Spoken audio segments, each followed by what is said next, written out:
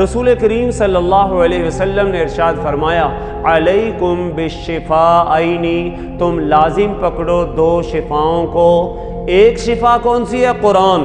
दूसरी शिफा है शहद। जी, कुरान भी शिफा है। कुरान बातनी बीमारियों के लिए शिफा है। जाग रहे जी जी। कुरान बातनी बीमारियों के लिए शिफा है और शहद जिस्मानी बीमारियों के लिए शिफा है। तवज्जो है? चुनाचे जी रूह को जो बीमारियाँ लग जाएँ, उनको शिफा देने वाली किताब कुरान है।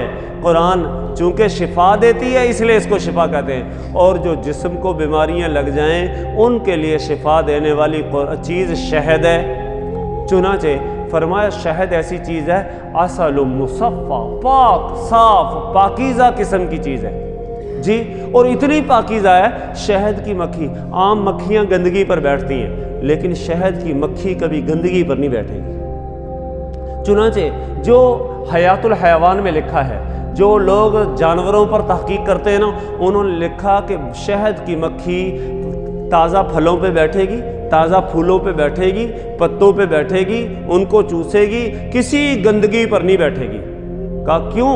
हती कि अगर इनमें बड़ा एक मज़बूत निज़ाम और नेटवर्क अल्लाह ने बनाया है। इनकी एक मलका होती है, उस मलका को कहते हैं यासूब। अरबी ज़ुबान में उसका नाम है यासूब।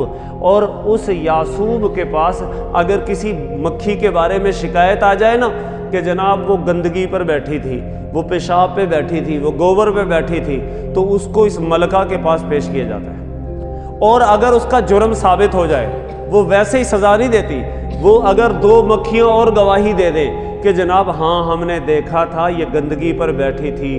तो कहती है, वो मलकाए, जो मलका होती है शहद की मक्खियों की, वो हुक्म देती है और गंदगी पर बैठने वाली मक्खी का सर तन से जुदा करवा देती है। जी तो ये पाकिज़ा तरीन मक्खी है।